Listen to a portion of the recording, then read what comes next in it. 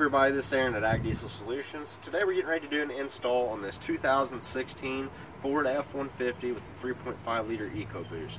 The module for the 2015 and 2016 3.5 EcoBoost is our 22510. With this module you can expect to see up to 45 more horsepower as well as 1 to 2 miles per gallon of fuel savings.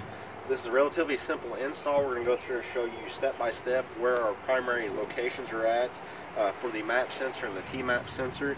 Uh, we'll go through, show you how to get this installed as efficiently as possible, get everything zip tied up and get you guys on your way.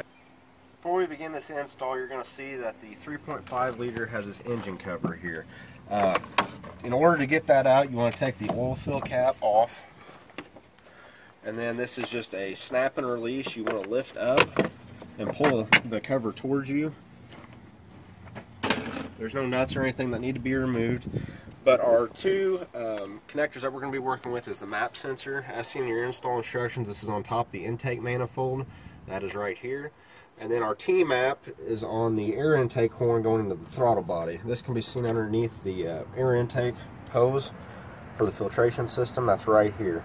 Uh, so you can see we use all factory OEM connectors on our harness. These are both four pin and you don't have to be worried about getting these connectors reversed because they are uh, one for each. They're not both the same connector. So we'll go through and take the map sensor off first. This is just a snap and release as well. You can see that's a four pin female going into the male portion of the map sensor.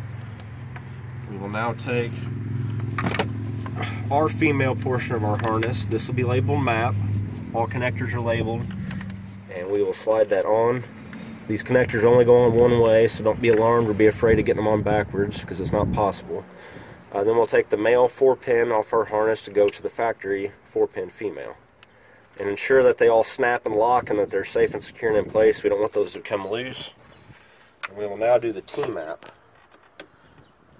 There's a white locking tab on that. You want to slide back before you release it, but then you just push down on it. And that'll release that connector as well. I don't know if you can see it through here.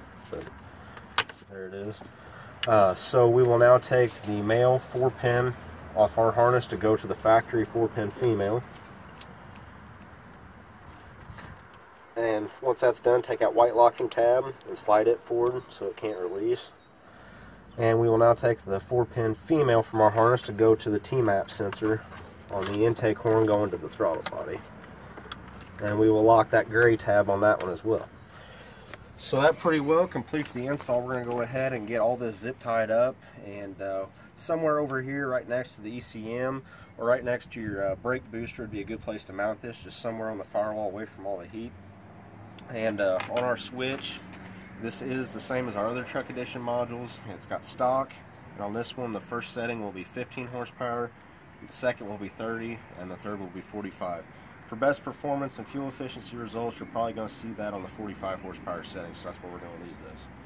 But uh, that pretty well concludes this install. I want to thank you guys for joining us today. Be sure to check us out on our website, agdieselsolutions.com. There you'll find uh, more information of our uh, modules and what we have to offer for your equipment as well as your pickups.